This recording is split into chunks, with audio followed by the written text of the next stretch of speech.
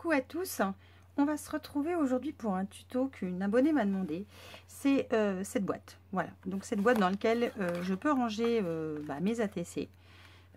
alors, sachant que je garde toujours un exemplaire de chaque ATC que je fais. Je, suis peut-être dingo, mais je, garde toujours un exemplaire. Donc voilà, je les ai rangés là. Alors, je vais commencer par ancrer, ancrer mon papier. vous savez que j'adore ça. Hein. Je pense que si vous me suivez, vous savez que j'aime ça. Celui-là, je l'avais ancré donc en couleur pépite de chocolat. Je vais, je vais. Je l'avais ancré couleur pépite de chocolat parce que c'était une couleur marron. Alors, c'était pas la couleur pépite de chocolat au niveau papier, c'était juste un marron. Et là, je me suis dit, tiens, je vais essayer d'ancrer différemment. Je vais ancrer avec l'encre Craft euh, Murmure Blanc. Quand vous commandez cette encre sur le site, en fait, l'encreur arrive euh, vide d'encre et vous avez la recharge j'y arrive avec. J'ai ma recharge, sinon c'est pas drôle. Ça m'aurait étonné que j'ai tout sous la main pour vous faire quelque chose. Toi, je trouvais ça bizarre. Ben voilà, j'ai la réponse à ma question. donc voilà, donc l'encreur, il arrive vite d'encre et euh, la recharge, par contre, elle est avec. Hein. Il n'y a pas de souci à ce niveau-là. Et alors, j'ai posé la question à, à ma marraine parce que voilà, c'est un peu ma Bible. Merci Sophie. Et euh, elle m'a tout simplement euh, confirmé que dans certains pays assez chauds, l'encre, voilà, l'encre craft murmure blanc venait très très très liquide parce que c'est pas une encre qui est liquide. Je vais vous montrer rapidement. Elle, euh, donc elle arrive très, euh, enfin avec la chaleur, donc elle se liquéfie euh, énormément. Et il y avait des fuites au niveau des, des, pads. Donc le, but, voilà, c'est de distribuer de la qualité. Là, c'était pas le cas. Donc c'est pour ça qu'ils ont préféré ne pas ancrer les, pads, tout simplement, et de les mettre sans encre. Alors moi, je l'ai ancré, mais j'ai ancré un petit peu. Donc je vais quand même pouvoir vous montrer comment ça marche et je vais vous montrer l'épaisseur parce que une encre une encre lambda comme celle-ci c'est liquide hein, vous voyez vous allez entendre le bruit. C'est liquide. Là, euh, là c'est pas liquide du tout. Je vais me fournir de ça, mais vous pouvez utiliser une cuillère à café, euh, enfin quelque chose de, sur lequel vous allez pouvoir euh, racler, entre guillemets. Et alors, je vais vous montrer, vous allez voir, enfin j'espère que vous allez voir. Alors, il faut appuyer quand même assez fermement. Et c'est pas liquide, on peut pas mettre du goutte à goutte. Autant où les autres, il n'y a pas aucun problème pour le goutte à goutte. Mais là, on ne peut pas. Vous voyez, ça fait vraiment un filet. J'espère que vous voyez bien. Je vais en mettre sur le bord parce que c'est quasiment là que j'en ai mis le moins tout à l'heure. Alors, elle finit quand même par pénétrer dans le pad. Mais par précaution, moi, ce que je fais, c'est que je viens, voilà. Je viens étaler partout. Alors, quand on en met sur euh, toute la surface du pad, c'est plus facile hein, euh, pour bien euh, disperser, on va dire, l'encre. Voilà. Moi, j'utilise ça, mais voilà, une cuillère, ça euh, fait l'affaire. après avec... Euh, alors, je me munis toujours de ma petite boîte comme ça avec un petit chiffon. C'est pareil, j'ai appris ça on stage. Mes collègues qui font ça. Merci beaucoup. Euh, je crois, j'ai vu... Qui c'est? Sophie? Sophie? Les deux. et c'est une astuce en fait qui est une très bonne alternative à la planche que j'utilise pour nettoyer. Là voilà, c'est ça nettoie tout de suite ça. Je voulais juste vous montrer que c'était pas compliqué en soi à ancrer. Alors, il faut en mettre un peu quand même. Bon, enfin là, je sais même pas si j'ai descendu la bouteille à voilà l'étiquette. Donc, euh, il y a de quoi faire. Alors, c'est pareil. Une, euh, une abonnée m'a dit, mais euh, je croyais qu'on mettait l'encre à l'envers. Les, encriers, enfin les, les pattes d'encre à l'envers. Oui, on les met à l'envers, sauf que chez Stampin' Up, quand le boîtier est à l'endroit, en fait, le, pad est à l'envers. Que tu vois, ça fait un système de rotation comme ça, donc il se retrouve à l'envers. Si tu regardes, enfin non, tu pourras pas voir. Euh, tu vois, le pad, il va être à l'envers. Hop. Donc, c'est pour ça qu'il faut le laisser à l'endroit. Parce que si tu le mets à l'envers, dans le coup, l'encre, elle va être dans le fond du pad. Donc, on va ancrer un, un papier. Et ce que je vais faire cette fois, c'est que je vais utiliser un, papier noir. Tant où euh, mon premier essai, ma boîte était marron, là, j'ai envie d'essayer de me faire du noir. Parce que j'ai fait mes rangements de boîte couleur noire, enfin mes rangements de pâte d'encre couleur noire. Donc je me suis dit, allez, on y va pour du noir. Ce que je vais faire, c'est que je vais donc ancrer avec mon encre euh, Craft Murmure Blanc. Et j'ai choisi un autre produit euh, qui va partir du catalogue au 1er juin et je vous en ai parlé dans ma vidéo, vous m'avez tous soufflé, vous m'avez tous dit le nom. C'est le set de tampons Paisley and Poesy, donc cachemire. Et je vous remercie du fond du cœur pour vos je ne sais combien de cachemire que vous m'avez mis en commentaire parce que vraiment j'arrivais pas à trouver le mot. Et même après, je, ça voulait pas rentrer. Je ne sais pas pourquoi ça voulait pas rentrer. Donc voilà, je, je, l'ai pris, ce set de tampons, parce que vraiment, je ne pouvais pas passer à côté tellement je l'aime. Donc à partir du 1er juin, c'est fini, il n'est plus là. Là, il est encore là, mais pour combien... Enfin, pour combien de temps? Aussi Je sais pour combien de temps, juste jusqu'au 1er juin. Uniquement jusqu'à cette date. Je n'ai pas pris le set de Dies parce qu'il y a un moment, faut, voilà, faut, bah, fallait que je m'arrête. Et je vais utiliser, euh, alors j'ai fait un modèle tout à l'heure. Je vais utiliser euh, celui-là. Voilà, je le trouve super joli. Et je vais utiliser les feuilles peut-être. Et puis la fleur, je pense. Voilà. Je vais vous montrer plutôt là parce qu'à mon avis, vous ne verrez pas. Donc je vais prendre celui-là ce, gros rond là, je pense que je vais euh, tamponner aussi la fleur et les feuilles. Je pense que je vais faire comme ça. J'en ai fait un sur du marron tout à l'heure pour voir ce que ça allait donner. Et euh, ça me plaît énormément, je vous montre. Voilà ce que ça donne. Cette fois, j'ai utilisé d'autres motifs. Euh, j'adore. je prends toujours quand j'ai un, quand j'ai à ancrer comme ça des, une grande surface de papier et que je veux un super résultat, j'utilise toujours le tapis euh, mousse là de, de, bah de Stampin' Up parce que je le trouve top. Et comme ça, euh, comme c'est un tampon au caoutchouc, vous n'avez pas la partie mousse qui fait un petit peu, on va dire, ressort. Et ça, vous êtes sûr que votre motif, il n'est pas raté.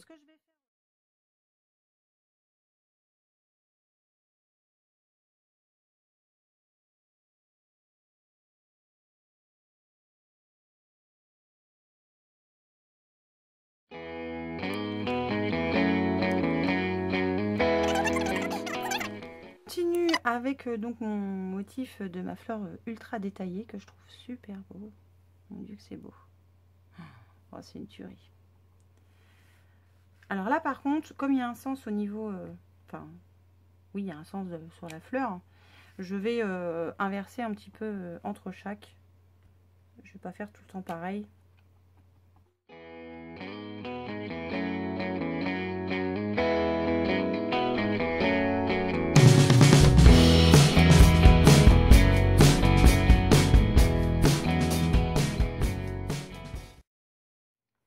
Voilà ce que ça donne euh, une fois que j'ai ancré. Euh, bah, je, me, suis arrêtée là. Je pense que c'est bon. Juste petite précision pour faire le tour en pointillé. Donc j'ai utilisé, euh, alors je vais vous montrer sur le boîtier, celui-là après celui-là. je pense qu'il faut faire celui-là et après celui-là. Voilà. Je vous aime moi.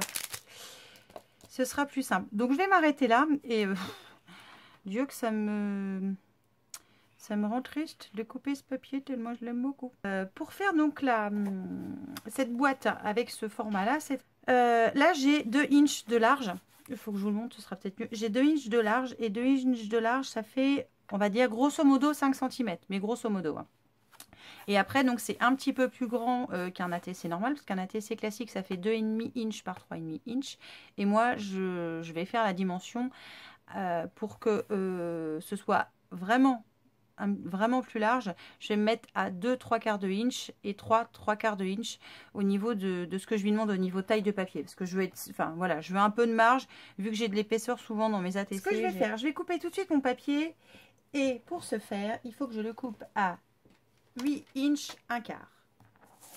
Alors 8 inch 1 quart, ça fait à peu près 21, enfin ça fait à peine 21 cm. Donc si vous n'avez pas de inch, vous pouvez partir, enfin, vous pouvez partir sur des centimètres. Hein, c'est pas je vais essayer de vous dire les mesures au fur et à mesure si j'oublie pas. Alors, 8 inch un quart, c'est là. Et quand on se sert de l'instant enveloppe, on parle toujours de papier au carré. Donc voilà, il va me rester une belle, euh, une belle tranche, comme on dit, euh, que je vais garder précieusement pour faire d'autres dessins. Oh, ça fait un effet bleuté sur le papier. Je ne sais pas si vous voyez comme moi je vois, mais c'est beau, je kiffe. Mon Dieu, je suis folle de ce papier, regardez. Il faut que je vous le montre avant que je finisse de le tailler. Oh, il est beau. Ah non, c'est trop beau. Ça faudra que je le refasse celui-là. Ah ouais, faudra que je le refasse tellement c'est Inch un quart, c'est équivaut à, ah ben voilà, quelque chose près à 21 au carré. Alors, je prends l'insta enveloppe ou l'enveloppe punchboard. Voilà, le nom que vous préférez lui donner.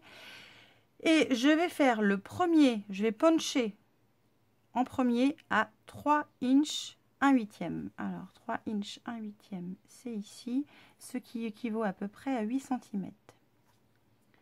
Alors, comme je suis euh, vraiment à ram à feuille, je vais faire attention quand même euh, à mon premier euh, traçage de plis. Je vais y aller doucement. Je passe deux fois parce que le papier est épais. Et je punch. Ensuite, je vais mettre à 5, 7 huitièmes. Alors l'inconvénient, c'est que 5, 7 huitièmes, je ne l'ai pas. Alors ce que je vais faire, c'est que je vais mettre le 5 en face du 5. Alors, mon 5 est là. Je cale bien ma feuille.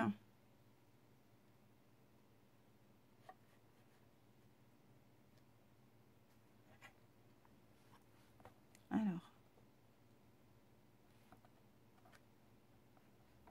que je mette ma feuille comme il faut, ma comme il faut. 7 huitième, il est là. Donc je suis au bon endroit. C'est vrai que là, ça va être un petit peu embêtant parce que j'ai prévu large, mais bon, ça va le faire quand même. Voilà. Ensuite, je reprends, je m'occupe plus des dimensions et je reprends directement là. Voilà. Et je fais pareil pour le deuxième trait. Je me base sur mon premier trait, je trace et je punch. Et je fais ça en fait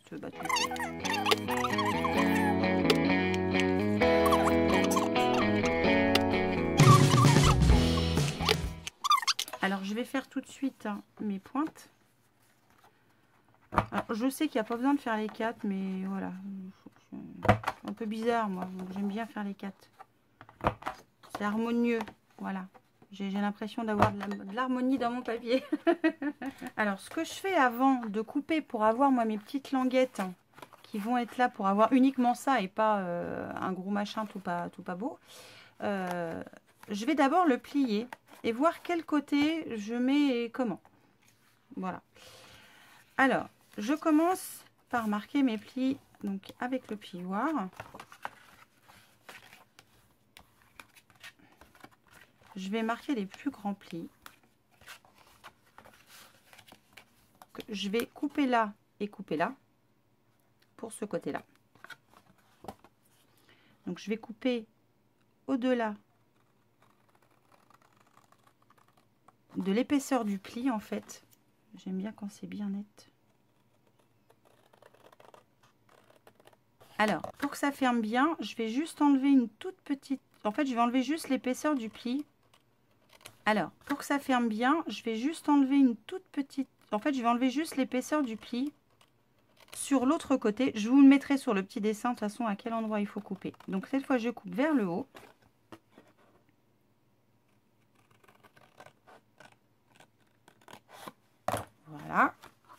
Donc ma boîte va se fermer comme ça.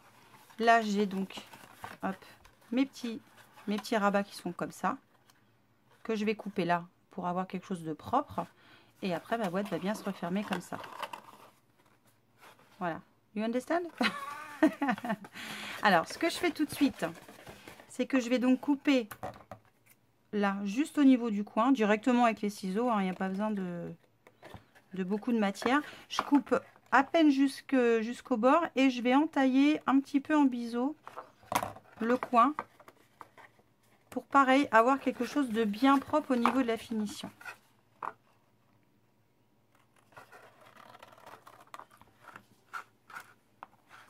Je vérifie que j'ai bien remis en route quand même. Et donc j'entaille légèrement le, le petit coin là pour avoir quelque chose de voilà de qui, fasse propre quand je vais, euh, quand je vais faire. Donc, euh, toutes les, petites chutes comme ça, je les garde parce que ça peut servir pour faire des petits embellissements par la suite. Euh. J'ai pas marqué par contre mes plis de rabat, donc je vais le faire tout de suite. Hop.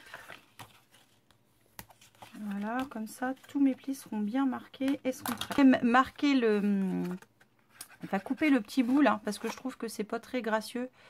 Euh, donc je vais le couper. Alors pour le ah. couper, je vais mettre en forme ma boîte sans qu'elle euh, qu'elle soit, euh, j'irai, collée. Donc je vais mettre en forme le mieux que je peux. Et pour mettre en forme le mieux que je peux, je passe tout comme ça. Et je passe celui-là en dessous.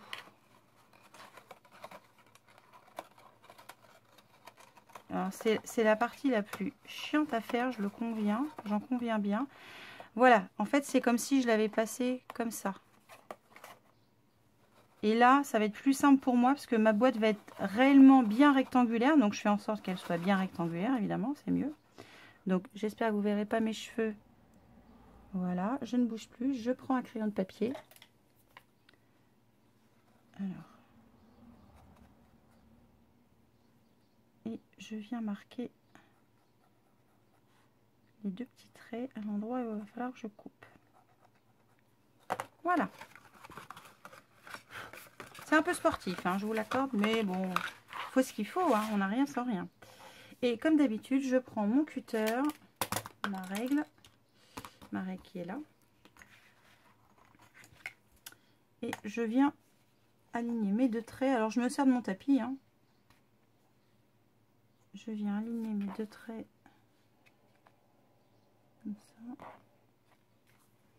Et je viens couper. Donc maintenant, on va passer au collage. Alors là, ça va être ultra simple. Dans le coup, alors je, vais appuyer. Alors quand vous coupez au cutter, vous avez l'effet biquant qui vient vers le haut à la différence de quand vous coupez avec le massicot.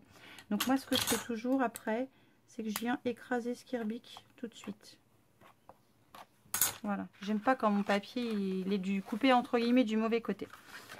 Alors pour coller, je vais utiliser euh, bah, ma colle préférée hein, parce qu'elle colle euh, colle super bien.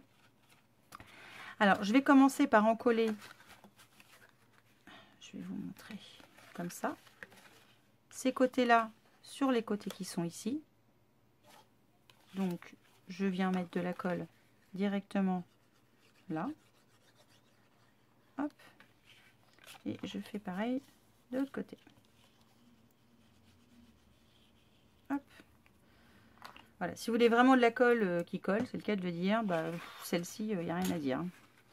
Et ça colle super vite en plus, donc c'est ce que j'apprécie. Alors, je viens appuyer suffisamment. Voilà. Et je fais pareil. Alors, ce que je vais faire par précaution, c'est que je vais retourner, hop, mon petit dessin pour être pareil des deux côtés. Et on aligne bien les bords. Très important. Alors, ce que je fais, c'est que je le penche. Je vais essayer, mais je, pense que vous verrez pas. Et j'appuie. Ça permet aussi de bien étaler la colle et d'avoir quelque chose de bien fini. Et je fais pareil de l'autre côté. Voilà. Donc là, pour l'instant, il n'y a rien de compliqué. Il nous reste plus qu'à coller ces deux parties-là. Et puis, c'est fini. Notre boîte sera terminée. Alors, pour couper, pour coller plutôt comme il faut ces deux parties-là, il faut surtout que je mette la colle au bon endroit. Et quand je dis la colle au bon endroit, c'est pas la mettre, euh, pas barbouiller partout l'autre côté, parce que sinon ça va coller là. Donc il faut juste que j'en mette à ras cela, puisque je m'arrête à peu près à cette hauteur-là. Donc je garde l'épaisseur que j'ai ici, et je mets de la colle sur mes petits rabats. Et là, ça va être la partie la plus délicate. Alors, je commence toujours par le coin, je remonte et je vais jusqu'à la pointe. Je vais pas plus loin. Hop. J'en aurai assez de toute façon, ça collera largement. Et alors j'ai le fil de mon téléphone qui me gêne. Oui, ce n'est pas un téléphone avec un fil, c'est qu'il est en train de charger. Je mets en place et j'appuie. Voilà notre petite boîte est quasiment terminée. Je pense que je vais faire un rond cette fois. Je vais récupérer celui-là. Alors, j'ai une perforatrice. Comme j'ai pas pris les dies, les, les matrices de découpe, je vais euh, perforer. Parce que là, je suis à... Combien elle fait celle-là? 3,5. Ça doit pas faire 3,5, ça doit faire un petit chouïa moins, mais j'ai pas de 3. Donc, je vais perforer à 3,5. Voilà. J'avais des, des, serres comme ça que j'avais préparé moi euh, dans une boîte. J'aime bien, enfin j'aime bien préparer euh, des découpes de dies euh, voilà, d'avance dans une boîte. Et j'en ai trouvé un qui est un petit peu plus grand. Donc je vais le coller dessus, légèrement en, relief.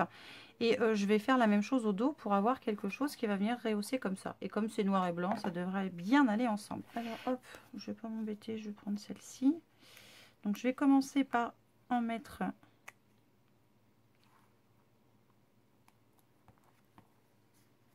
sur le noir pour pouvoir en mettre sur le blanc.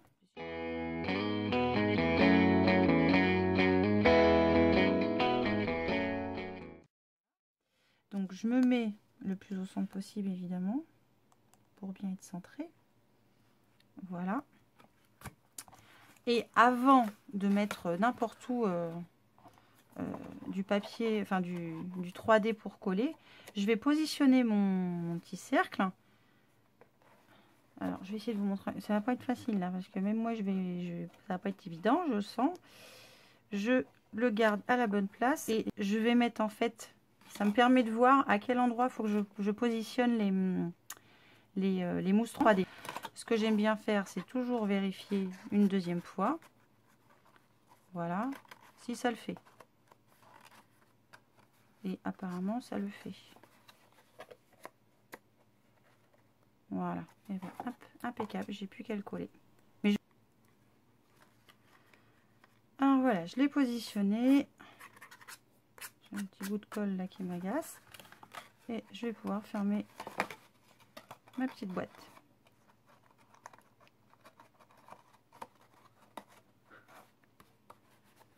Et voilà, ma petite boîte est fermée. Et cette fois, elle est noire et blanche. Et puis, cette fermeture ronde, tout simplement. Et là, j'avais fait, euh, fait le contraire. Sauf que là, je l'ai fermée comme ça. Pour vous montrer une petite bricole, hein, puisque j'aime la colle Stampin' Up. Euh, et euh, je lui ai fait un, un petit bijou. Je lui ai fait un petit pot comme ça. C'est-à-dire que je suis toujours embêtée pour la laisser debout. Alors c'est vrai que j'ai mon bac à colle qui est à côté, mais c'est pas, pas super pratique. Et là, en fait, bah, je lui ai fait un, un joli pot, tout en dentelle avec des fleurs pas en dentelle, en, strass, avec des petites fleurs. Et je lui ai fait un pot comme ça. Je voulais aussi en profiter pour vous euh, remercier du live euh, qui était juste génial qu'on a fait mercredi. Euh, ça a été une super expérience. Alors c'est franchement difficile par contre à faire. Euh, on, a, on a discuté un petit peu dans le, dans le coup avec, enfin, avec Laure par la suite et euh, j'en referai un, c'est certain. Je m'organiserai différemment. Je me doute que ça doit pas être évident de créer en même temps que je vous parle et en même temps que je vous explique. Je, vais, je suis allée trop vite au début. Enfin voilà, mais c'est super dur en fait. Je ne m'attendais pas à ce que ce soit si dur que ça. Donc ce que je ferai, c'est que lors d'un prochain qui se déroulera, bah, pas tout de suite parce que là, les, semaines qui arrivent euh, sont déjà euh, bien établies et bien calées. Et je vous invite d'ailleurs à aller voir, euh, à vous inscrire aux autres ateliers parce que c'est juste génial, à mon avis, ce qu'on va faire, parce que moi, je vais y participer. Et je, voilà, je, vais en faire d'autres, c'est certain. Je vais préparer dans le coup les miens que je vais réaliser sur ma page Facebook qui s'appelle Au fil du scrap, qu'on fera en live. Ce, moment euh, passé en live était juste génial. J'ai vraiment adoré, même si c'était franchement pas évident d'aller de, d'aller moins vite. Euh, voilà, je me suis pas rendu compte au début que j'allais trop vite. Je vais refaire avec plaisir un atelier. Euh, donc on va se concerter avec Laure pour savoir à quel moment, mais ça va pas être tout de suite. Hein. Faut, vous pouvez vous inscrire aux ateliers qui sont déjà en route là jusqu'à fin juin, je crois. Euh, moi, juillet, c'est la période la plus intense de mon travail, donc je ne pourrai pas en juillet, c'est quasiment sûr. Peut-être fin juillet, mais bon, à voir en fonction de l'évolution de, bah, de la moisson, parce que c'est ça, ça va dépendre, donc en fonction de l'évolution de la météo. Voilà. Euh, allez, sur ce, je vais, euh, bah, je, vais vous laisser là. J'espère que ce tuto vous aura plu, que vous aurez apprécié et que vous le referez, que vous pourrez ranger vos ATC, que vous soit vous échangez, enfin, soit que vous avez envie d'un échange, soit que vous, vous recevez de, des autres. Je suis très en retard pour vous envoyer tout ce qui est envoyé. Je vais profiter de ma journée de lundi pour le faire. C'est pour ça que j'essaie de prendre de l'avance aujourd'hui. Il sera réservé, je pense, à vos créations qui vont accompagner pour certaines les catalogues, pour d'autres certains remerciements que j'ai à faire. Euh, voilà, j'ai pas mal de cartes à faire et j'ai la vidéo de la carte euh, qu'on a fait en live que je veux faire sur la chaîne YouTube euh, en un peu plus condensé hein, parce que je crois qu'il y en a pour 1h45 de vidéo donc bon courage Et voilà, je, je, veux la faire sur la chaîne en, voilà, en, plus condensé, en allant jusqu'à l'essentiel. Après, vous pourrez mettre pause sans problème. Vous arriverez évidemment à la faire. Mais je voilà, j'ai envie, de, envie de la faire comme je vous l'ai proposé. Et pour celles qui ne l'auraient pas vue sur le live, je vous la montre malgré tout. Alors, je vais la récupérer. Où est-elle? Elle est là. Voilà, alors hop, j'ai défait hein, parce que j'avais pas préparé. C'est une carte comme ça, qui une flip carte, euh, je sais pas si ça s'appelle comme ça, mais une carte balancier, je ne sais, je, pas comment on appelle ça. Euh, moi je l'ai appelé flip carte, avec son marque-page qu'on va glisser là et qu'on va pouvoir offrir, euh, soit pour la fête des mamans, euh, soit pour un anniversaire, parce que voilà, ça peut accompagner un livre sans problème. Alors, il faut cacher le ruban, je l'ai mal mis derrière. Mais voilà, voilà à quoi ressemble ce qu'on a fait dans l'atelier. Donc ça, je vais vous préparer un tuto avec ça, parce qu'il faut que je finisse la deuxième que j'ai pas fini de l'atelier, il faut que je vous en prépare, donc une troisième qu'on fera ensemble. Voilà, Allez, je vous en montre pas plus parce que sinon vous saurez tout de la chaîne et tout ce qui va arriver en vidéo.